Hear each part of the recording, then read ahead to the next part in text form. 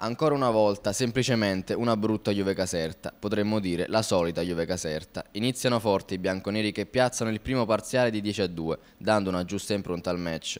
I più ottimisti elogiano Bowers inarrestabile assieme a Williams nei primi 5 minuti di gioco. I più sognatori invece danno uno sguardo ai risultati dagli altri campi, sognando appunto la griglia playoff. Tutto vano, Teramo sa di giocarsi l'ultima chance per la salvezza e la reazione non tarda ad arrivare tripla di Zoroschi, gran giocata di Della Fuente e la banca Tercas entra in partita. Fulz e Diner bersagliano dalla distanza, Zoroschi conduce letteralmente i suoi. Quando Williams non c'è, Fletcher fa ciò che vuole nel pitturato. All'intervallo il punteggio dice 44-30, per Di Belle e compagni si prevede una lenta agonia.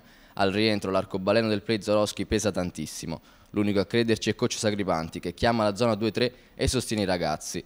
L'incintamento del tecnico però non arriva a destinazione, la Pepsi è inconsistente, la difesa praticamente nulla. Davis schiaccia due volte in transizione, umiliando il reparto lunghi casertano.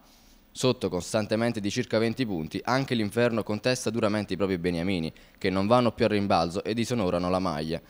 La cronaca dell'ultimo quarto della partita vale davvero poco. Contano invece i segnali di resa, di rottura con il pubblico, i liberi sempre sbagliati e la concentrazione che va e che viene.